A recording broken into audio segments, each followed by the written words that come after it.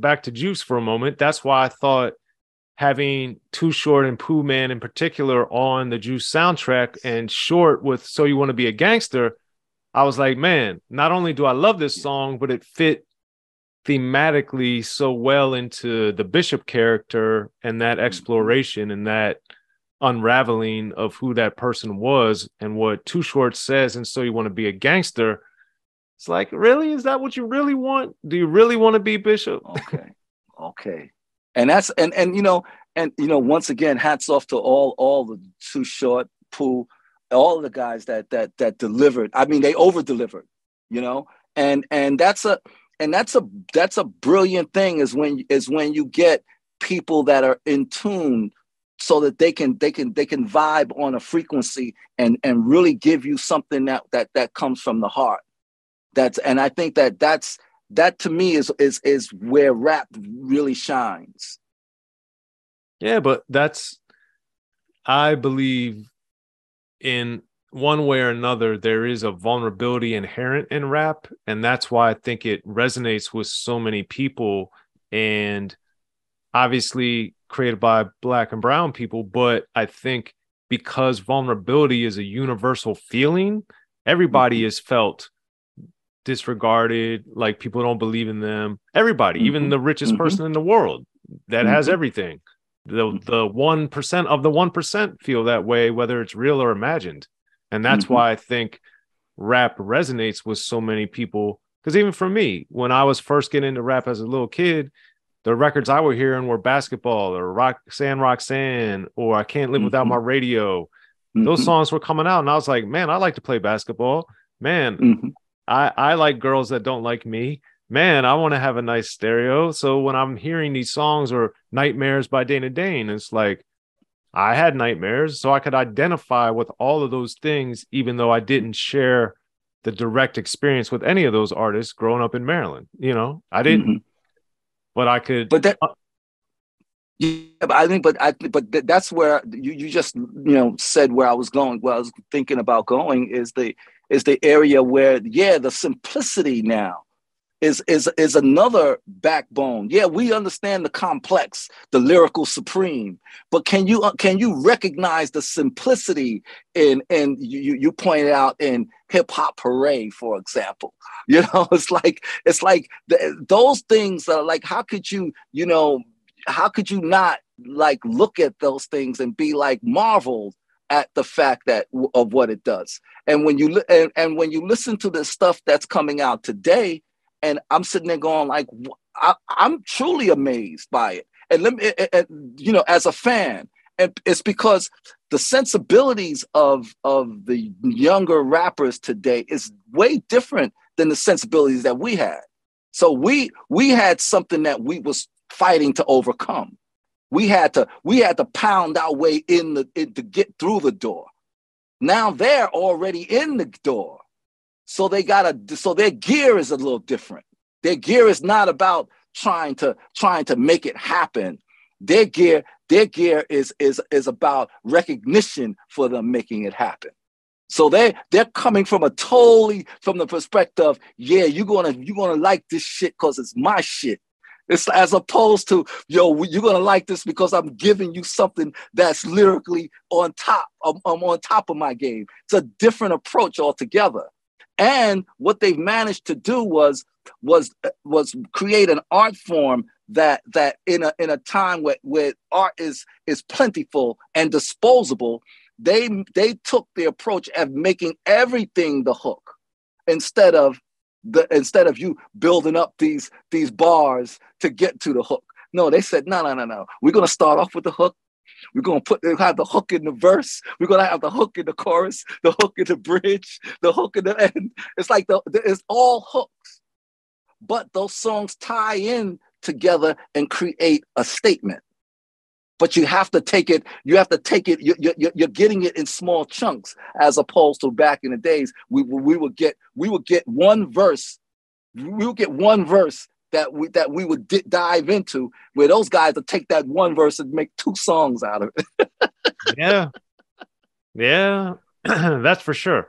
I remember one Obviously, he did it in a very different way and not to the degree or the magnitude. But I do remember at times thinking Biz Markie repeated himself quite a bit in his songs, but that also right. ma- that also made them very easy to memorize. So it worked. that's, that's, right. That's right. Because you know, you you it, it's and, and, this is the beautiful thing I, I find about about rap that you don't like. You could have fun with it.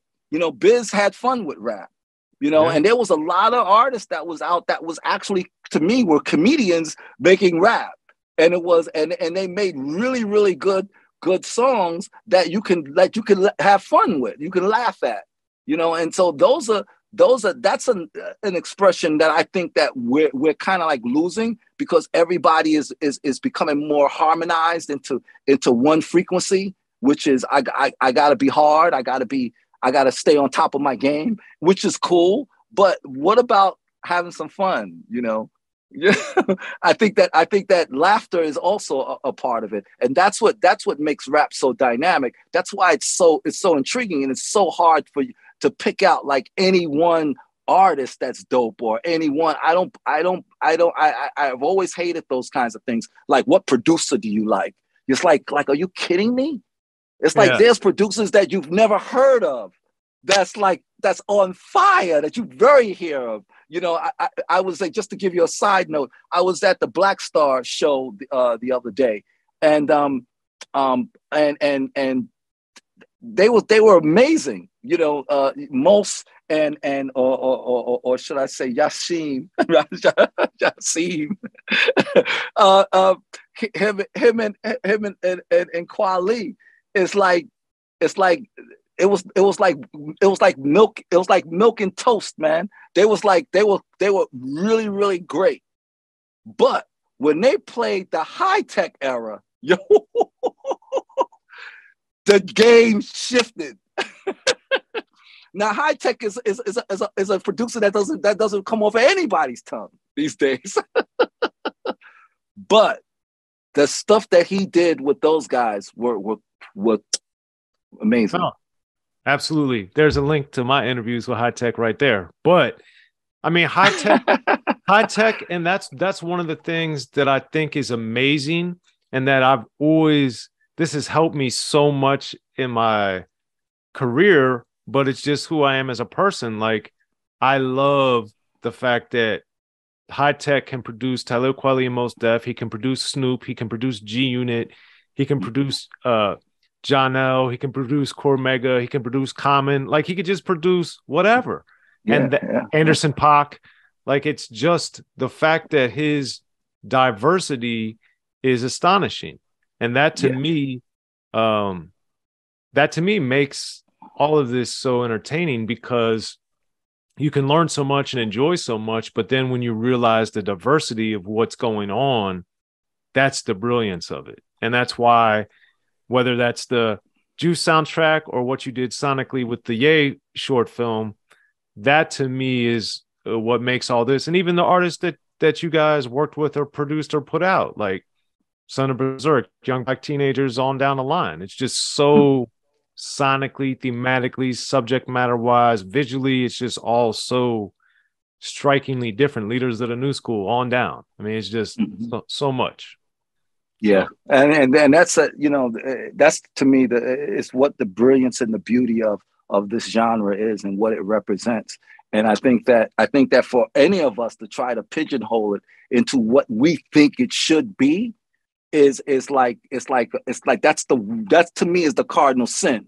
And and why and why and why is that? It's because when rap was fighting to become in existence there was no no no no belief on where it should be we made rap rap what rap was up to 125 bpm to, all, all the way down to all the way down to like 75 bpm you know, it's like it's like what what genre was was even was even doing that. I think that when we start to get to the point where things become uh, uh, in our own head that it it has it's not certified unless it's it's doing this kind of a thing, then I think that that's when we've we've we either outgrown it or we've or, or we become so set in our ways that we cannot see the vision and the and and and the and the the, the beauty inside something that's that's new.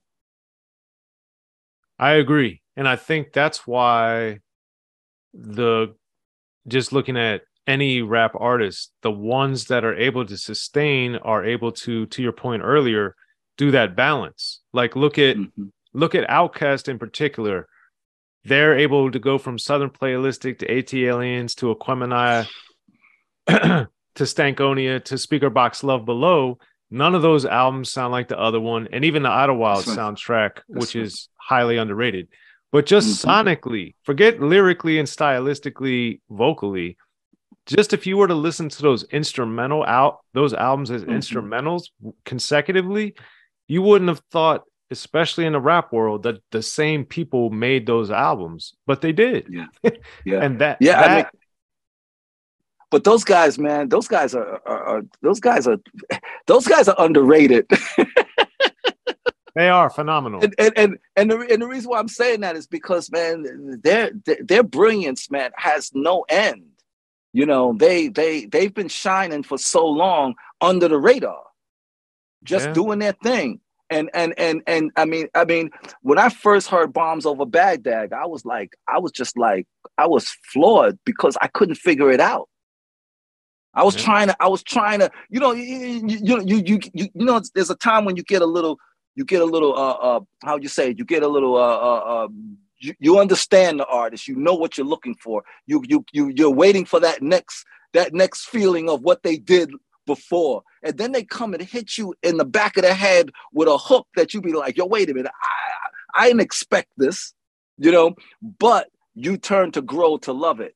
It's it's it's it's it's I, I tell you a quick story. When i when i first heard uh method man um uh, with with the record of um, uh, "Release Your Delf." I, that sounds that sound like a dungeon song. I know, I know. I called I called um, uh, Lyor up, and I told him this is the worst piece of shit I've ever heard in my life. and he was like, "Hank, you must be getting old." That's a so I said I said okay I, and that's that's upon first hearing it. Then I went back and I heard it again a couple of times on the radio. They, they played it. I called them back up and said, Lyor, I'm sorry, man. I, I, I, had, a, I had a problem. Yo, this is the best shit I've ever heard in my life. but that's but that's the beauty of, of, of music, man. It's like, yeah, you know, a first impression, if you're expecting something to be a certain way, and it doesn't and it doesn't fit that format, you're going to be disappointed. And your disappointment goes into anger and hate for that particular project or or or even the artist. But if you if you open up and move back, you start to see things in a different light that you've never seen before. And that's the area to me is where the true visionaries live. So, as a consumer yourself, and the Method Man is a perfect illustration of this. How, as society, can we get past looking at something, absorbing something, experience something once, and then revisiting it, whether it's a conversation, a song, a movie, uh, anything, a person?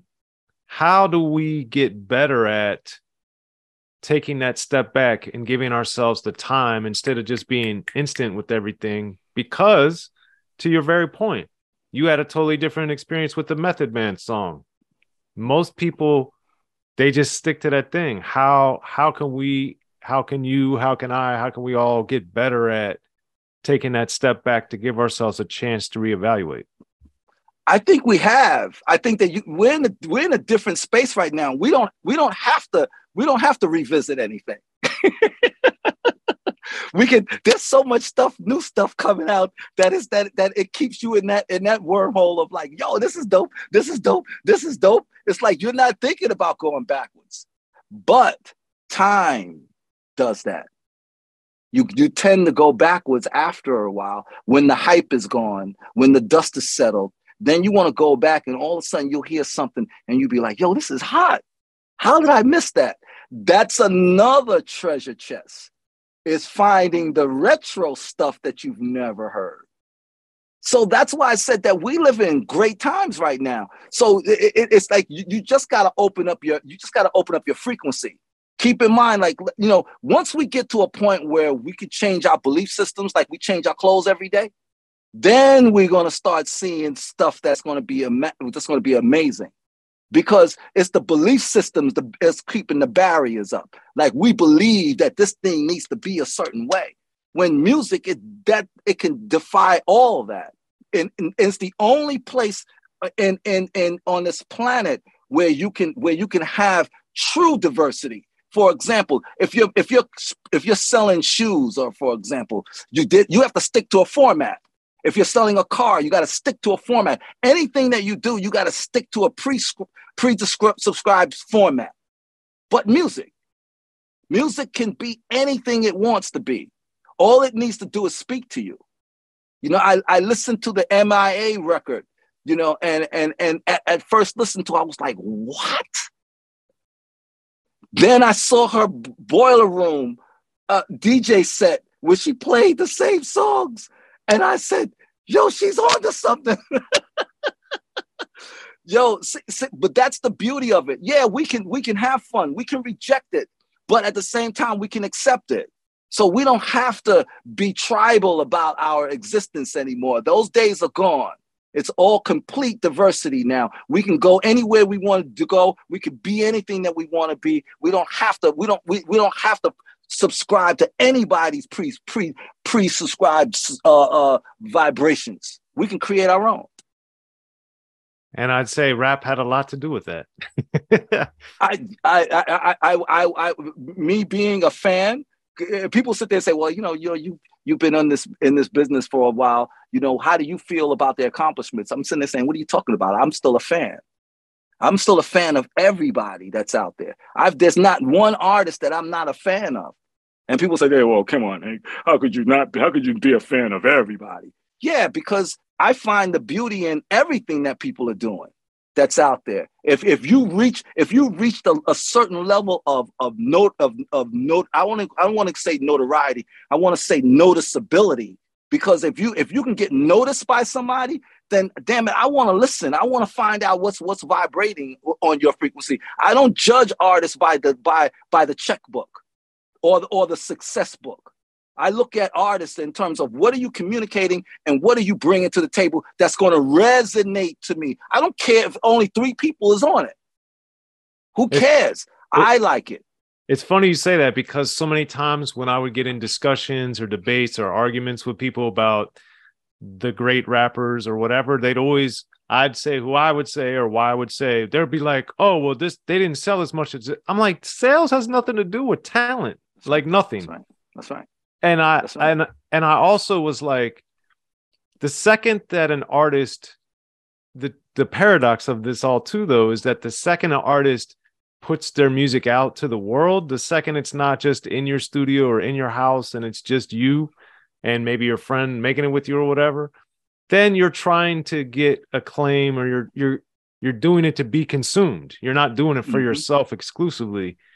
And that's the the trick too when you're discussing this with people. Oh, he's doing it for the culture. No, he's not because when he was in his bedroom or when no one knew who he was, to your point, when three people, he was doing it to get fans. He was doing it to get money. Mm-hmm. He was doing it to get acclaim. Mm-hmm. Whatever the reason, it wasn't for the culture because you didn't have a culture. You were by yourself. Mm-hmm. So.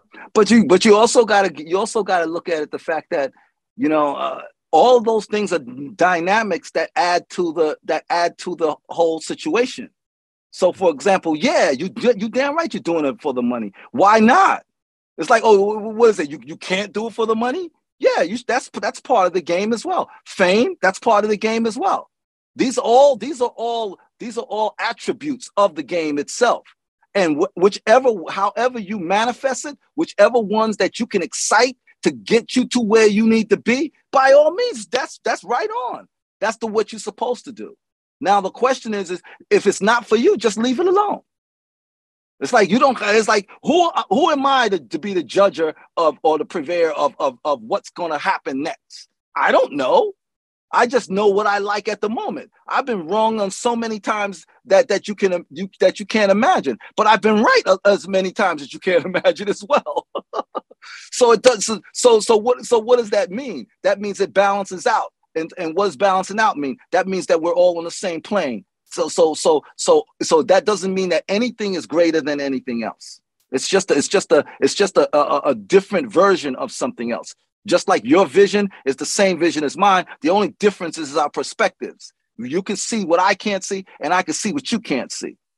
So who's a judge and say which one is better? Yeah. I'd say the fool. that's what that's exactly what it is. Soren, yeah. I just want to talk about my artists, man, my up and coming artists that we have and uh, that's on the soundtrack, and that I think that you're gonna that you. I don't know if you got a chance to listen to some of the songs on the soundtrack, man. The the, the artists that, that we have, I think, are truly amazing, and they're up and coming. I, there's nobody that's that's that that to me has been that's been uh, certified, if you want to call it that, as official yet. Uh, but stay on the lookout for 90 with his song called Sundown uh, stay stay uh, stay on the lookout for Jackie Queens, who's who's who's who's song that who's got a song called um uh I damn I, I, I keep forgetting the title of it uh the, of of the song that's amazing. Um anyway, Jackie Queens has a song on on the soundtrack. Uh Mizzle has a song on the soundtrack. Uh an artist called Magneto. It's another one that has a song on the soundtrack. And Sute Iwa got a song on the on the soundtrack and a, a brilliant artist by the name of Owo. So I, I, I, you know, I just want to let your fans know to to be on the lookout for these records that's going to be coming out. We're going to be releasing them like uh, on a monthly basis, and so that so that you know when you when they come out, I want you guys to you know see what you think. Get show get them some love. They're all Nigerian, uh, Nigerian, South Africa uh, connection and and USA connection and they're all they're all you know they're all African artists. Nice. Well, thanks for letting us all know about that. Well, Hank, man, I really appreciate you coming through to Unique Access, man. It's been an honor speaking with you. Soren, thank you, man. It's been my honor. It's a pleasure, man. And much much love to all the fans out there. Keep keep keep your keep your dial locked to to Soren, man, because he's doing big things right now.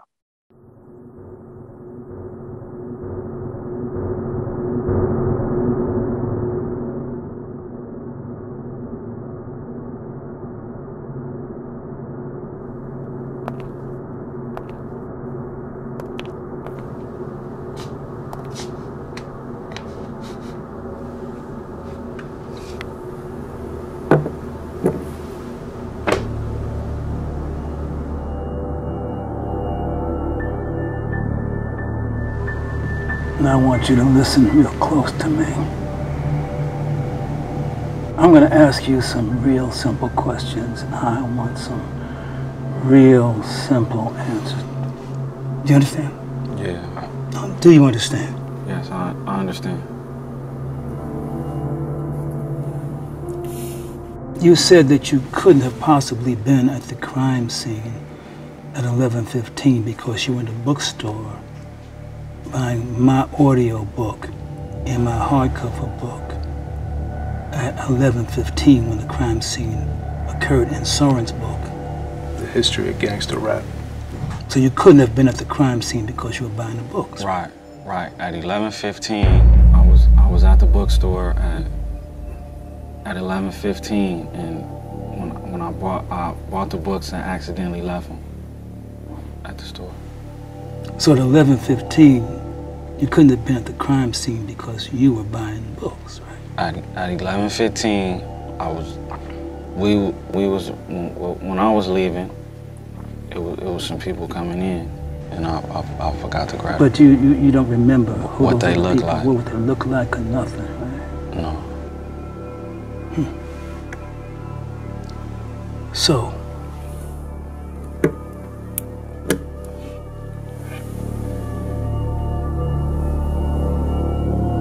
12.15, you in the bookstore buying my audiobook and hardcover book and Soren's book at 12.15, so you couldn't have been at the scene because you were buying the books, right? Yeah, at 12, exactly, at 12, at 12.15 exactly, I was at the bookstore.